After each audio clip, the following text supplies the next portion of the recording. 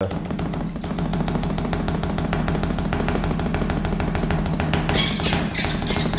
a little tricky, but Yeah, alright. great.